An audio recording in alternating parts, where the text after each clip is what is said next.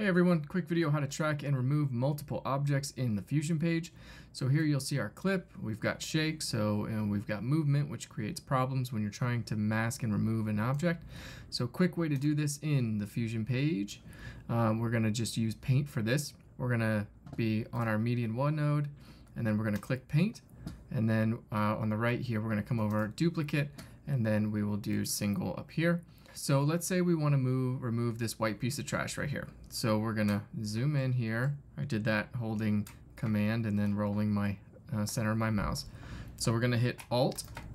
Alt will be the area that you're gonna mask. So for that, we're gonna use that little crack there.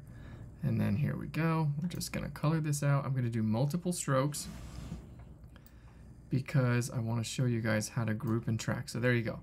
That is now gone. But you'll see the problem with that, it looks great in a still shot, but when we move and shake, you'll see it comes back. See it showing up again because the mask is not tracking the movement. So let's go back to where we were, 190. So the way we fix that, get your pointer up here, highlight the whole area where you may have made any kind of paint stroke.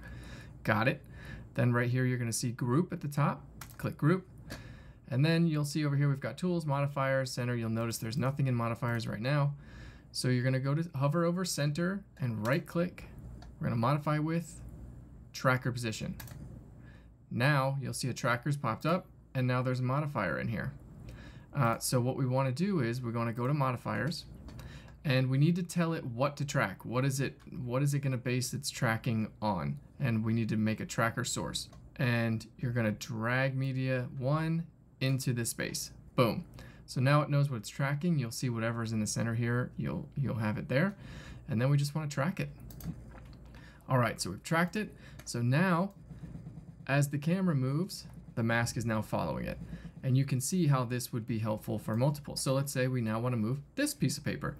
Well, we're going to just add another paint node and run through the process again. So we're going to go duplicate, go single up here, and then we are just going to find a spot that we want to use to duplicate it. So let's start down here. I'm holding Alt and clicking, and then we're just going to drag it up. There we go. And then we're going to find a different place to do this. That's perfect.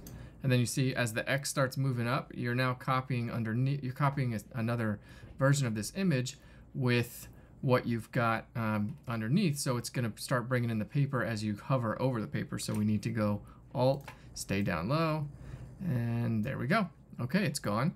Same process. So we're going to go here and we're going to highlight it and make a group. We're going to hover over center, right click, modify with, tracker position. Tracker is there.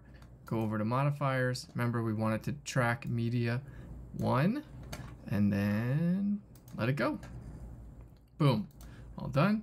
So now you'll see anywhere the camera moves, mask is covered. And you can do this infinity times.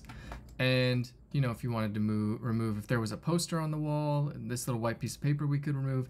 And this has become crucial if I ever do a shot and there's multiple, you know, businesses in the shot or whatever. I don't want to use the logos or the names of companies. So you just, you know, do a shot and then come in here and you can remove multiple ones if you do. And uh, just a quick, easy way to do it. All right, guys.